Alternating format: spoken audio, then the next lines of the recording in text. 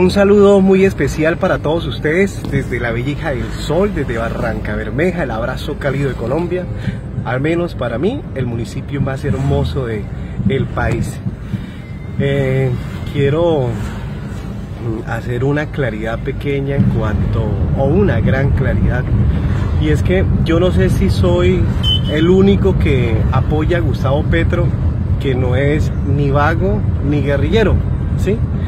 Eh, en el tiempo en que la violencia fue fuerte en Barranca Bermeja, en el que la guerrilla estaba haciendo hasta para vender en nuestro municipio, las FARC le quitaron la vida a mi papá y el ELN también le quitó la vida a mi hermano.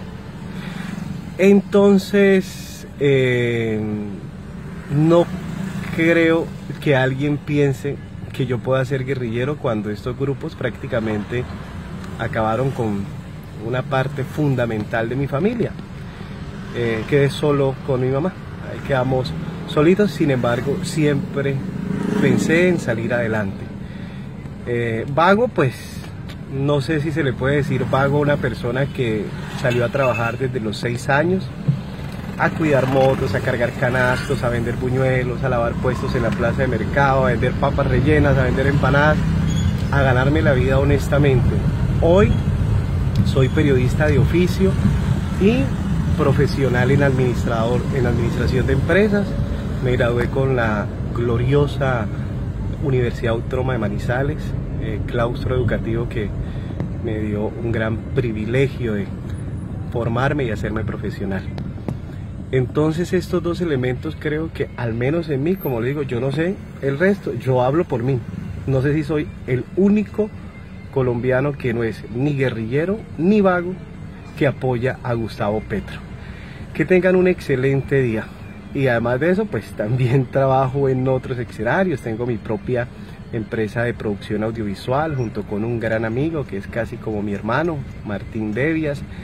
Eh, trabajo también con unos proyectos productivos ahí en el campo, en donde queremos, en el sector rural, donde queremos que llegue a la presidencia una persona como Gustavo Petro que sienta y que entienda la dinámica del campo y que los recursos del campo no se queden en las familias ricas como se quedaron eh, en el gobierno de Uribe. Es solo eso, sin necesidad de pelear, sin necesidad de estar tratando mal a nadie.